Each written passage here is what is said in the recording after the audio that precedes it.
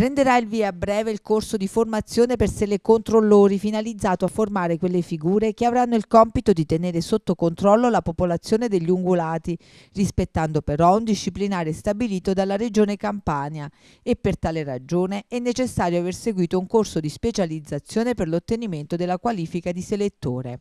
Un primo corso si è già svolto lo scorso anno e ha consentito di individuare diversi telecontrollori in uh, tutti gli ambiti territoriali di caccia. Anche per l'ATC Salerno 2, aree contigue al parco, che comprende anche il Vallo di Diano, sono stati individuati i primi telecontrollori che potranno esercitare la caccia agli ungulati con metodi selettivi e quindi nelle zone che vengono individuate come maggiormente popolate da cinghiali e per le quali è necessario avviare le attività di controllo della popolazione popolazione degli ungulati a tutela dei cittadini e delle coltivazioni che sono spesso prese di mira e danneggiate dai cinghiali.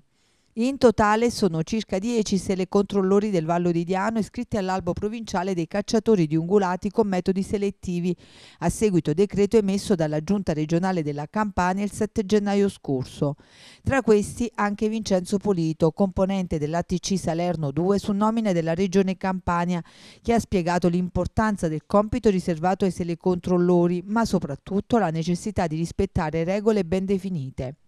Come selettore e componente dell'ATC Salerno 2, dichiara Polito, esorto tutti i selettori ad attenersi a quanto riportato nel disciplinare, in particolare in riferimento agli orari di uscita, prenotazione dell'area sull'applicazione X Caccia, segnalazione dei capi abbattuti come da comunicazione dell'ATC Salerno. Voglio inoltre ricordare a tutti i cacciatori appartenenti a squadre di caccia, continua Polito, che così come disposto dal disciplinare per il prelievo selettivo, il selettore settore può svolgere la sua attività solo dal 1 marzo al 30 settembre e non nei mesi in cui è consentita l'attività alle squadre della caccia imbraccata, ossia a partire da ottobre, rispettando nel contempo il silenzio venatorio del martedì e venerdì e l'orario di caccia consentito, dunque un'ora prima del sorgere del sole e un'ora dopo il tramonto.